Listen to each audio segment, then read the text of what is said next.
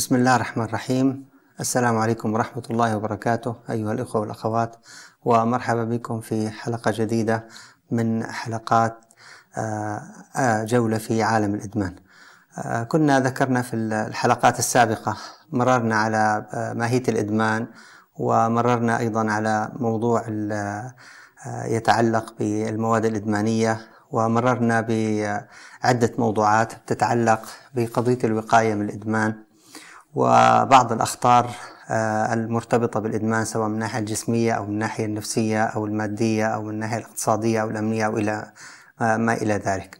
اليوم آه، في حلقتنا اليوم يكون الموضوع أيضا مهم وهو بيتعلق بتساؤل الكثير بالذات من الآباء والأمهات والعاملين في الحقل التعليمي والمربين والدعاة اللي هو بيسألوا دائما كيف نتعرف على المدمن.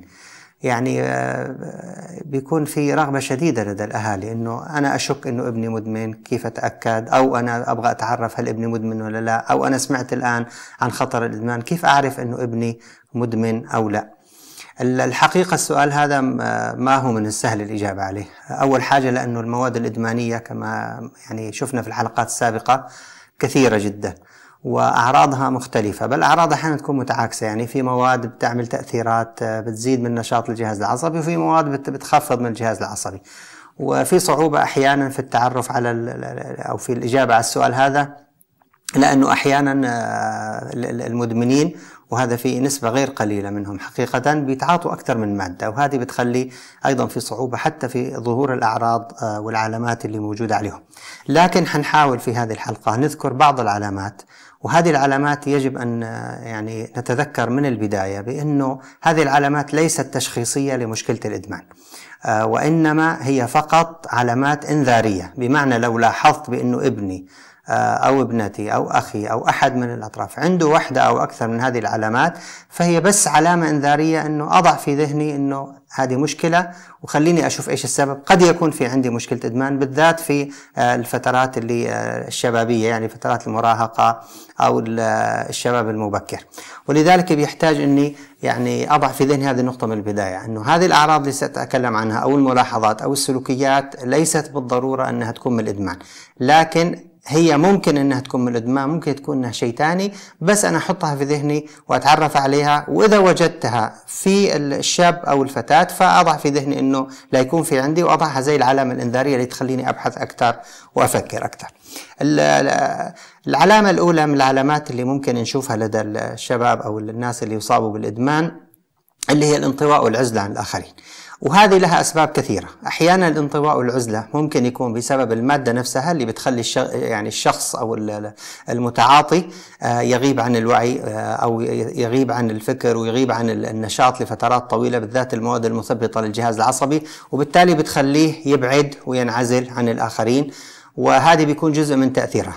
أحيانا المواد الإدمانية لأنها طبعا غالبا هي مواد ممنوعة طبعا ومواد غير موجودة وبيحرص الشخص في البداية بالذات في البداية على أن يخفي أمر إدمانه عن الآخرين عن أهله عن عن العمل عن أصحابه عن الناس المحيطين فيه.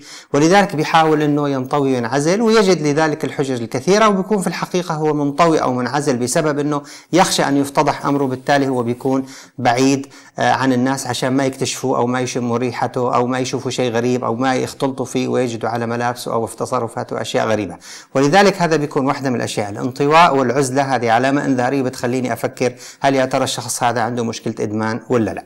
الأمر الآخر عدم العناية بالمظهر وإهمال النظافة الشخصي وهذه من الأشياء اللي أيضا بتكون آه، من المشكلات اللي بتجي مع الإدمان. إنه بالذات الإدمان في المواد مثل الهيروينات والكحوليات هذه المواد بتخلي الإنسان أحيانا آه، بسبب أنه صار محور حياته جل حياته متعلق بموضوع المخدرات ويفقد أحيانا ميزات مالية وميزات اجتماعية وميزات حتى صحية طبعا بالنسبة له يفقد كثير من الصحة والعافية. فبتلاقيه بيصير عنده إهمال في نظافته الشخصية وإهمال آه، أحيانا بملابسه وإهمال بشكله ومظهره. وهذه يعني أيضا بيكون محور اهتمامه صار انصب على المادة الإدمانية وبالتالي بيخليه إنسان مهمل وهذه من العلامات اللي ممكن أن تكون يعني ننتبه لها في موضوع آه، مشكلة الإدمان. من العلامات الأخرى اللي يحتاج أن ننتبه لها الكسل الدائم، الشخص اللي بيكون كسول بشكل دائم. في عنده تثاؤب مستمر.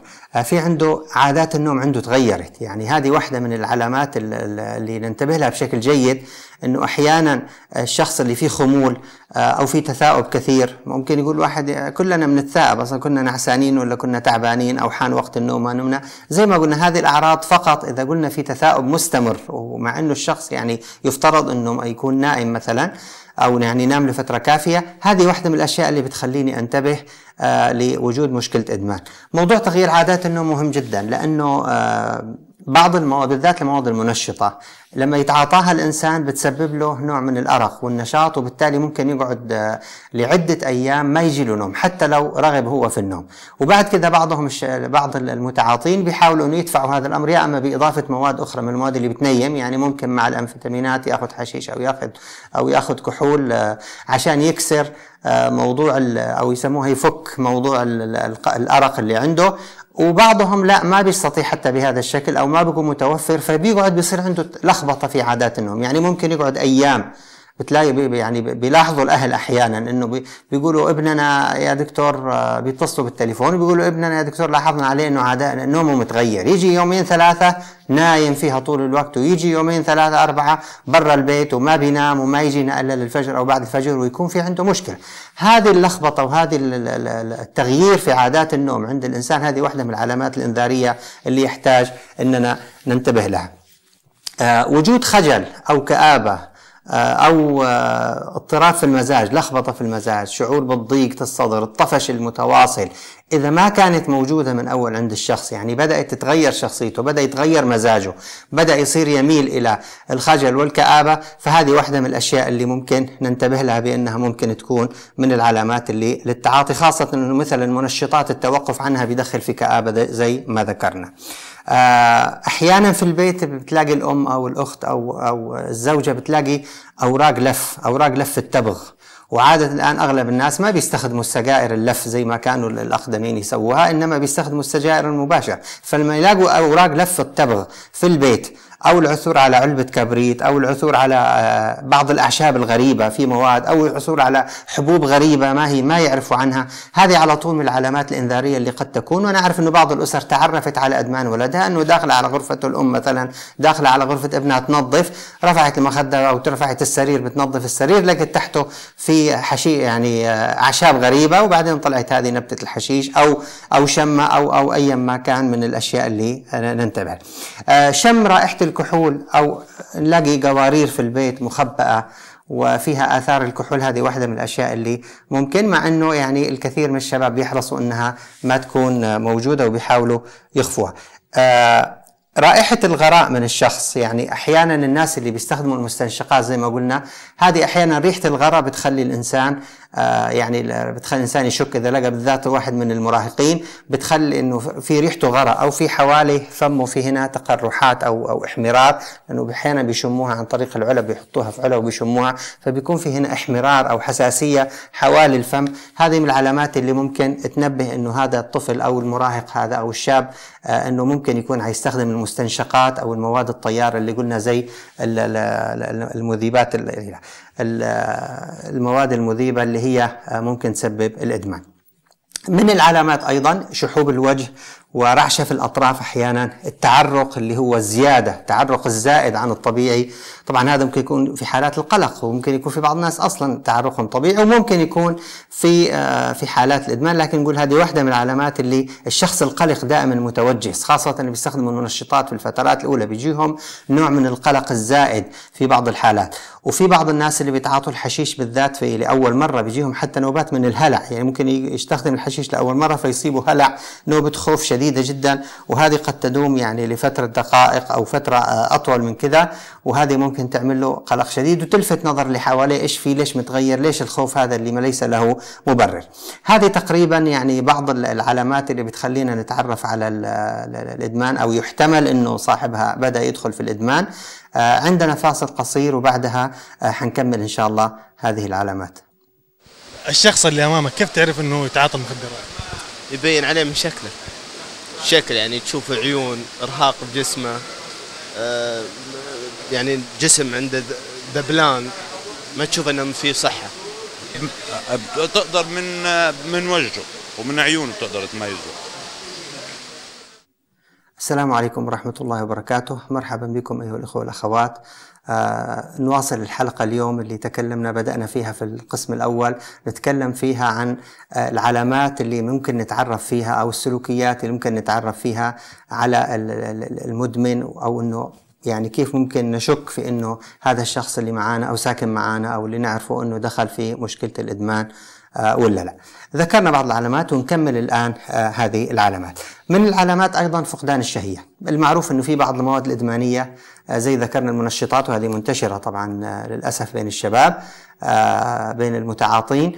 هذه آه بتؤدي إلى فقدان الشهية. ولذلك بيخلي الإنسان يعني يتحول إلى إيش؟ إلى إنسان ما ما عنده شهية للأكل وممكن بعض الشباب يلاحظ عليهم إنه حتى فقدان الوزن بعد فترة بيلاحظوا عليه إنه ما عم بياكل وإذا استمر فترة ما عم بياكل بتلاحظ الأم مثلا أو الناس اللي بيهتموا فيه بإنه بيقولوا ولدنا صار ما يأكل ونحف نحف وفقد وزنه بشكل يعني كبير. طبعا فقدان الشهية هذه علامة لكثير من الأمراض لكن واحدة من الأشياء اللي نفكر فيها فقدان الشهية عند الشباب اللي هي احتمالية تعاطي المواد أو بعض المواد المواد الإدمانية.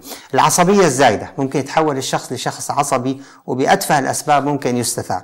قد يكون بعض الناس هذه من طبيعته لكن بعض الناس بتكون تظهر وتنشأ عليهم وهذه بيلاحظوها الأهل أحيانا بيقولوا إنه ولدنا كان في الأول هادي وولد عادي وولد لقينا بعد فترة إنه والله بدأ إيش؟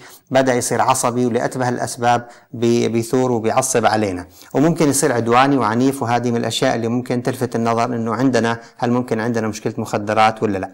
إهمال الدراسة واهمال العمل عدم الاكتراث اللامبالاة هذه واحدة من الأشياء اللي ممكن أنها تكون أيضا من العلامات. بيتحول الشخص زي ما قلنا وضربنا أمثلة على على بعض الناس اللي بيكونوا بيدخلوا في موضوع المواد الإدمانية وبعدين بيتركوا الدراسة أو بيتركوا العمل أو بيهملوا أو بيصير في غيابات متكررة. وهذه من الملاحظات. ولذلك نحن واحدة من الأشياء اللي لما بنقيم فيها مدى مشكلة الإدمان حتى أحيانا بيصير في يعني اتصال بالمدرسة إذا كان طالب أو اتصال بالعمل إذا كان يعمل أو موظف. أو سؤال الأهل هل بدأ بالفترة الأخيرة يصبح عنده نوع من الإهمال في الدراسة أو إهمال في العمل؟ أو هل حصل إنه وجهت له إنذارات بالنسبة في موضوع العمل إنه ما عاد يعني منتظم بالعمل وبالتالي صارت له إنذارات وصار في خصميات وصار في عنده غياب متكرر؟ وهذه طبعا ممكن تكون من علامات تعاطي المخدرات. آه من الأشياء أيضا اللي بنلاحظها أيضا عند الشباب اللي هي ترك الفروض والواجبات الدينية، بيصير في إهمال في الواجبات الدينية، طبعا الناس من عند بداية تعاطي المخدرات أنواع، في بعض الشباب بيكونوا من الناس اللي ممكن يكونوا بيصلوا سواء بيصلوا بشكل منتظم أو متقطع، بيحضروا صلاة الجمعة، بيحضروا المناسبات الدينية الموجودة في صلاة التراويح وكذا، واحدة من الأشياء اللي بتصير فيها ملاحظة إذا دخل الإنسان في المخدرات في كثير من الشباب اللي يدخلوا في تعاطي المخدرات بيبدأوا بيهملوا في الواجبات الدينية. طبعا جزء منها بسبب انشغاله بالمخدر جزء منها بسبب خجله جزء منها بسبب بعض القناعات يعني كونه يعتقد بأنه ما حتقبل صلاته وشارب الخمر وبالتالي يقول لك ليش أصلي؟ وهذا طبعا قلنا أنه خطأ. هو مفروض عليه الصلاة وجب عليه الصلاة لكن يفقد ثوابها. آه هذه الأشياء لأسباب يعني كثيرة ممكن الشخص يبعد عن الأشياء الدينية ويبدأ يهمل جزء من إهماله في حياته. طبعا الجانب الديني هو جانب قوي لدى الكثير من الناس. فهذه من العلامات اللي ننتبه لها. التوقف عن ممارسة النشاطات والهوايات الشخصية. في بعض الشباب قد يكونوا بيحبوا يلعبوا كرة قدم يحبوا يطلعوا رحلات بيحبوا يزوروا أصحابهم. الأشياء الاجتماعية والهوايات والممارسات هذه ممكن أنها تبدأ تنخفض وتبدأ تنحصر كلها في محور حول موضوع المادة المخدرة بالذات لما يدخل الإنسان في الإدمان بشكل كبير. من العلامات أيضا المهمة جدا الميل إلى الكذب أنه يصبح الشخص في عنده كذب ويختلق مبررات لكي إنه يحصل على المال. وهذه علامة مخيفة لأنها وإنذارية مهمة جدا إنه بتلاقي الأم أو الأب بيقول والله أنا كان المصروف اعطيه أول مصروف يومي كذا بدأ المصروف هذا ما يكفي شوية يقول كفرات السيارة أبغى أغيرها شوية يقول بدي أشتري جهاز السيارة وبعدين نكتشف بإنه ما غير الكفرات أو إنه السيارة ما تغير فيها شيء أو إنه الأمر اللي اللي بالنسبة له يعني طلب الفلوس علشان طلع غير صحيح أحيانا حتى بيطلب أقساط إذا كانت مدرسة آه، خاصة أو أو معهد خاص بيطلب أقساط لكورسات أو كذا وبعدين بيكتشفوا الأهل إنه هذه كلها أشياء غير صحيحة. آه، وهذه أحيانا بيعقبها بعد فترة اختفاء أشياء زي ما قلنا ثمينة داخل المنزل أو اختفاء أشياء آه، معدات أو أجهزة أو أو إلى آخره مما يعني يمكن إنها تجعل في شك في الموضوع. من العلامات أيضا اللي ممكن تحصل اللي هي تغيير الأصدقاء؟ طبعا الأصدقاء في بعض الناس من البداية بيكون صداقاتهم آه، يعني آه، ليست جيدة. بيكون ما بيختاروا أصدقاء جيدين بيكون أصدقاء هذول لما بيدخلوا في المخدرات بيستمروا مع أصحابهم في الغالب. لكن بعض الناس اللي بيدخل في المخدر ويكون عنده بعض الأصدقاء اللي ما بيتعاطوا مخدرات ففي بعضهم بيبدأ بينسحب تدريجيا من أصدقاء اللي ما عندهم تعاطي إلى الناس اللي عندهم تعاطي وبيكون شلة جديدة من الناس المتعاطين اللي هم بيتلائم معاهم ويستطيع إنه يأخذ راحته معاهم يستطيع يقضي وقت معاهم خاصة إنه الكثير من الناس اللي بيتعاطوا مخدرات بيتعاطوها آه يعني مع مع زملاء لهم. وبالتالي هذه بتخلي إنه تغيير الأصدقاء وهنا ننتبه إنه الآباء يجب إنه الأب آه والأم ينتبهوا لولدهم ويشوفوا أصدقاء ويعرفوا أصدقائهم حتى لو كانوا كبروا في السن. وموضوع الثقة هنا يجب أن ما نخلط بين موضوع الثقة أنه والله أنا أثق بولد أنا أثق بولدي لكن يحتاج أنه ثقتي تكون آه ثقة واعية ما تكون ثقة عمياء. الثقة العمياء بتسبب مشاكل إنما الثقة الواعية اللي أنا أثق بولدي لكن في نفس الوقت أعرف من أصحابه أعرف وين رايحين أعرف مين جايين وأعطيه مساحة من الحرية لكن ضمن حدود معينة هي اللي بتخليني أنتبه إلى أنه أصحابه هدول وأعرف أهاليهم. أنا أعرف العديد من الأسر اللي بتربي أولادها بشكل جيد لما آه، ولدهم بيمشي مع أحد أو كذا بيتعرفوا على الولد بيتعرفوا على أهله وبيشوفوا كيف الجو تبع البيت هل هو جو مناسب لهم ويتناسب معهم ومع ثقافتهم مع خلفياتهم ولا ما بيتناسب معهم. فهذه من الأشياء اللي ممكن تكون فيها أيضا.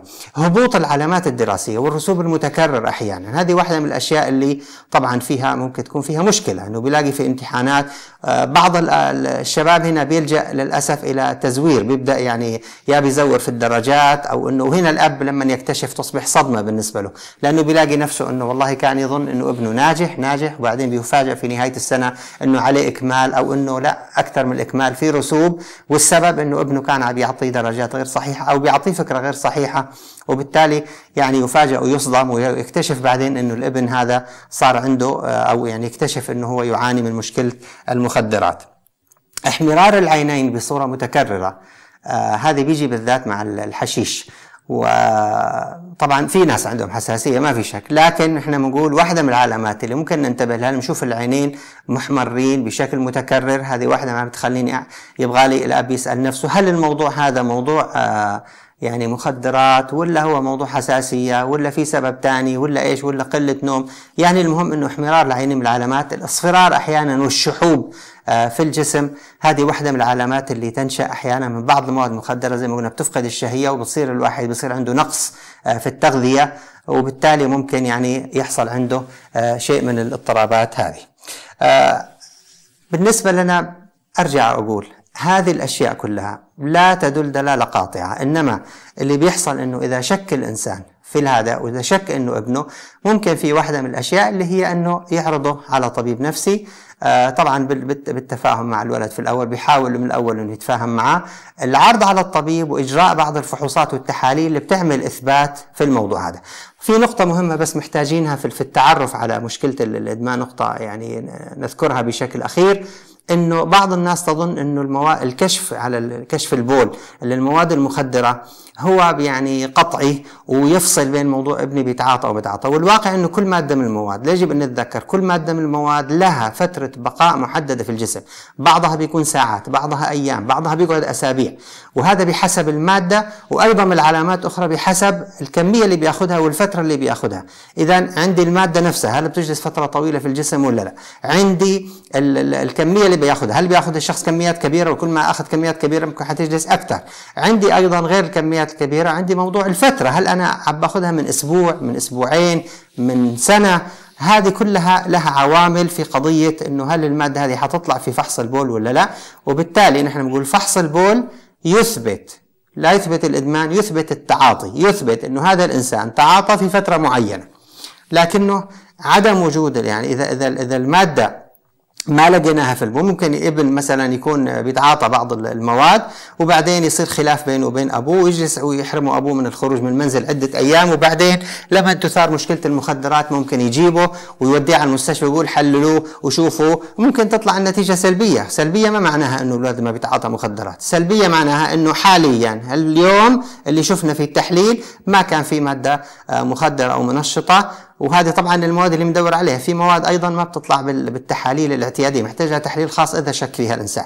ولذلك بنقول وجود يعني الإثبات أو النفي هذا يعني يحتاج إلى قرار طبي ويحتاج إلى عوامل. وممكن واحد يتعاطى بعض الأدوية وتطلع أحيانا نتائجها إيجابية من مواد مخدرة. ولذلك هذا الموضوع دقيق شوي. وما نحتاج ناخذه كذا بشكل قطعي واحد زائد واحد آه، يساوي اثنين. ما هي بالضرورة بهذا الشكل؟ إنما نحن بنقول عندنا هذا قرار طبي وإذا شك الأب وعملت التحاليل يا لابد أنه يكون في نصيحة طبية وشرح طبي والتحليل هذا هل مفسر ولا ما مفسر ومتى آخر مرة شك فيه وهذا اللي بيخلي يعني نتيجة دقيقة أكثر في معرفة هل الشخص هذا تعاطى المخدرات ولا لا. هذه تقريبا جولة سريعة في أهم العلامات اللي بتخلينا نتعرف على الإدمان، أسأل الله سبحانه وتعالى أن يجعل فيها الفائدة وأن ينفعنا بها وإلى لقاء آخر في حلقة قادمة في جولتنا هذه والسلام عليكم ورحمة الله وبركاته. you.